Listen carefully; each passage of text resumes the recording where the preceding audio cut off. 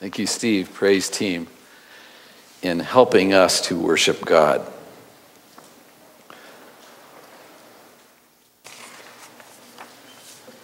Let us pray for one moment.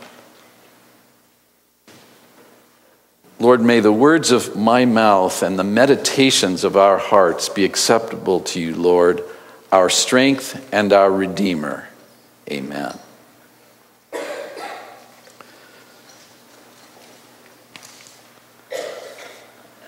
The scripture today is taken from Luke 13, verses 6 through 9. This is over on page 950 if you're using the Pew Bibles. The New Testament, page 950, Luke 13, verses 6 through 9.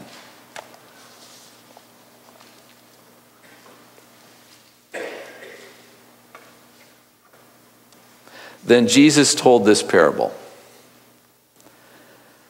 A man had a fig tree planted in his vineyard, and he came looking for fruit on it and found none. So he said to the gardener, See here, for three years I have come looking for fruit on this fig tree, and still I find none. Cut it down. Why should it be wasting the soil? He replied, Sir, let it alone for one more year until I dig around it and put manure on it.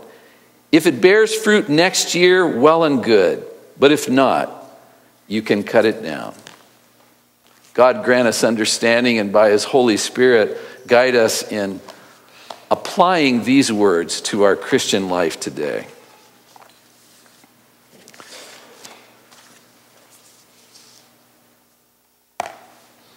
A parable about how we see others how we see ourselves, and how we see God. Perhaps you are a leader of a study group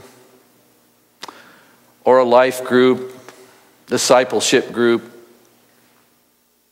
and you find yourself at times growing impatient with others.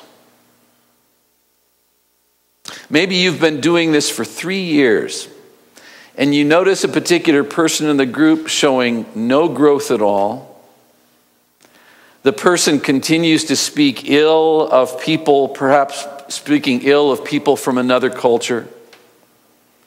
There's rudeness, there's disruptive behavior to the group, and the temptation is to just give up on that person. They need to be out, out of the group it's not helping us, it's hurting us, and let's just end it. That's, that's a temptation, a real temptation for us. This story today just says don't give up. Don't give up on other people. Don't give up on other people when they let you down. Don't give up on other people when they come up against you. Don't give up on them.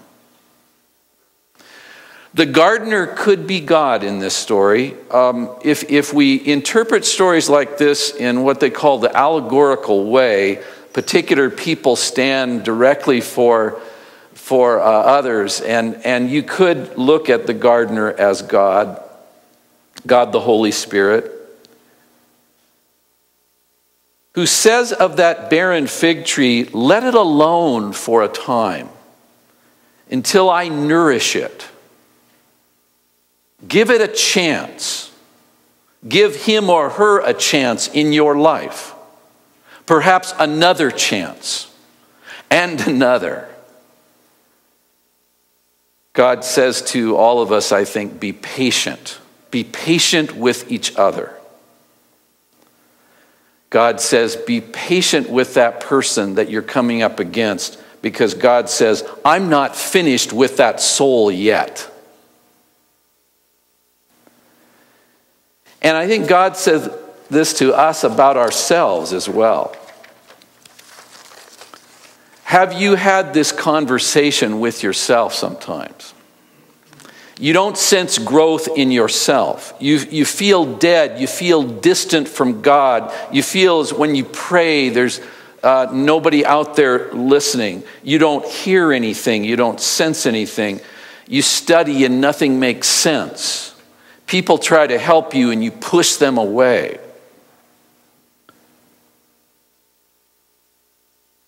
Like, remember the man who came to Jesus inquiring what he, how he could inherit eternal life. And Jesus went through the commandments with him and he said, Well, I've, I've followed all of those. But there must be something else. There must be something I'm missing. There's an emptiness in my life. I followed all the rules, but I'm empty. What is going on? Maybe you've been a part of the church all your life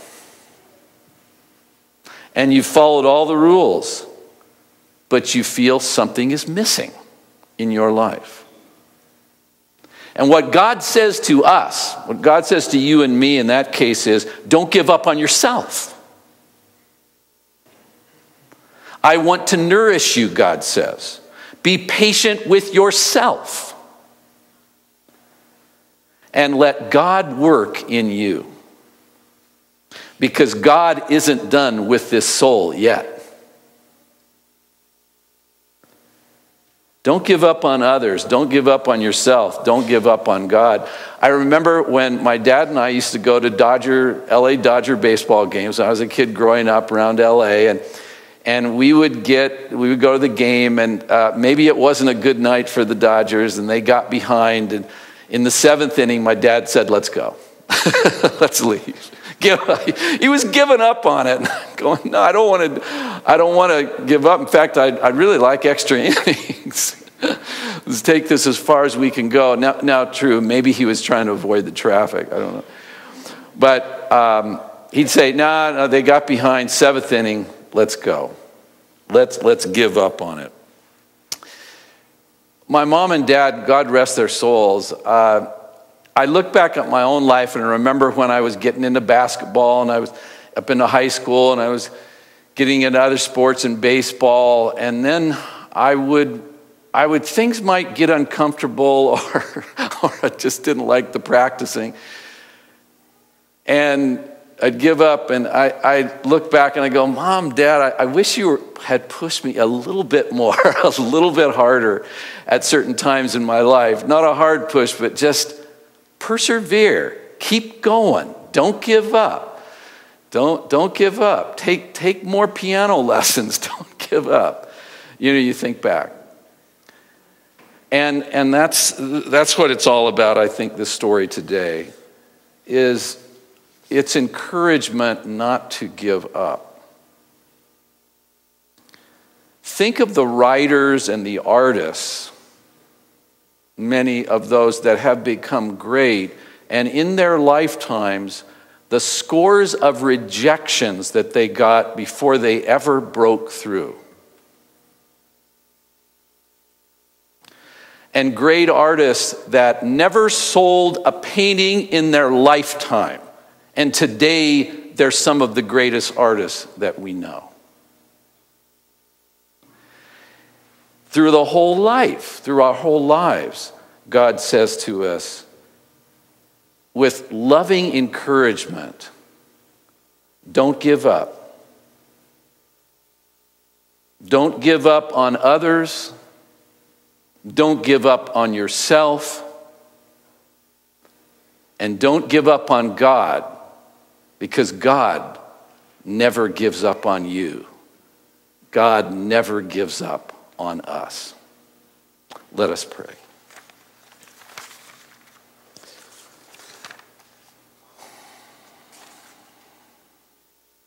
Lord God,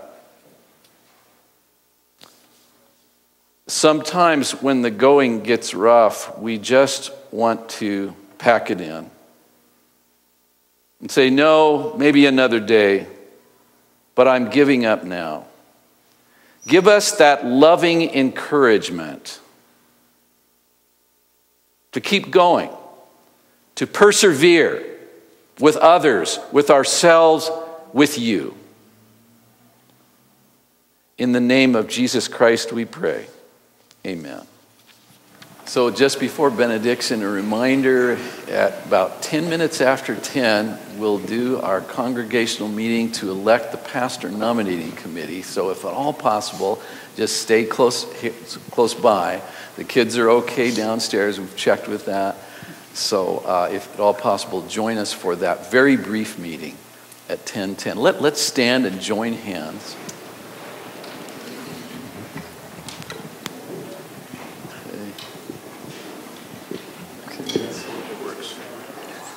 And now, as we go, let us remember don't give up on others, don't give up on ourselves, and don't give up on God, for God has never given up on us. God bless you. Amen. Amen.